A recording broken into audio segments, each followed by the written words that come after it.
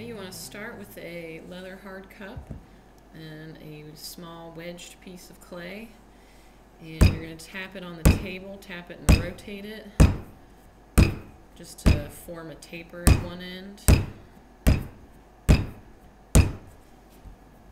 And then you want to hold the clay at the wide end of the taper and get your hand wet and hold it so that the taper is pointing to the floor. And then begin grabbing the clay where it's thick and then pulling it down, straight down, and sort of letting go and releasing pressure as you get near the bottom. You also want to be rotating the clay in your hand from the one side to the other to keep it uniform. You have to get your hand wet pretty frequently so that you don't tear the clay off. And then you're going to set the clay down on the table and just cut about a three inch piece off the end called a lug. And that gives you a cross section that's an oval shape. And you want to score your handle with a serrated rib. And then you want to score the area on the mug where you want the handle to attach.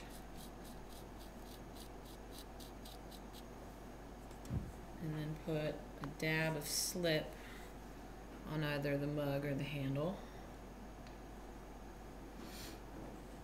And to attach the handle, support the mug just on the inside and then wiggle and press the handle into the mug. And then use your index finger and your thumb to work the clay all around the handle, working it into the mug. So be sure you get underneath as well.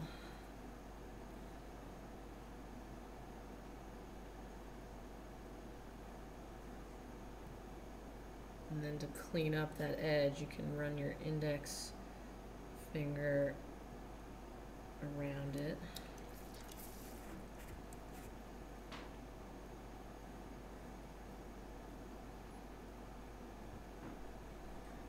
And the clay should be thick enough that it's not flopping over, it's supporting itself, it's sticking straight off the mug. Then you want to pick it up and hold the mug around the bottom, like so, so that the handle is pointing to the floor.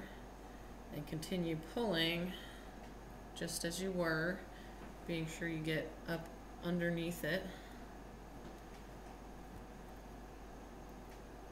And pull on one side and the other side and continue to alternate like that.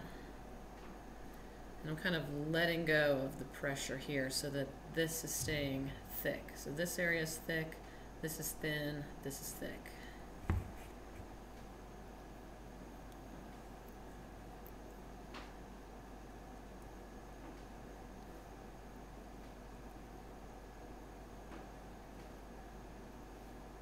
And you want to support the handle and tip the mug up and be looking at it to make sure that you're attaching it straight up and down. And then press the bottom of the handle gently into the mug. If you have any excess clay, you can use your needle to cut it and take it off.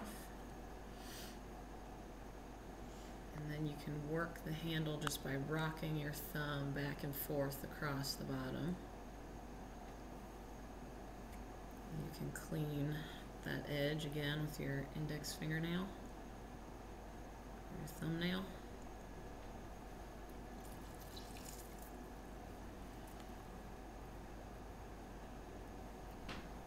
You can lift the curve by getting your index finger under there.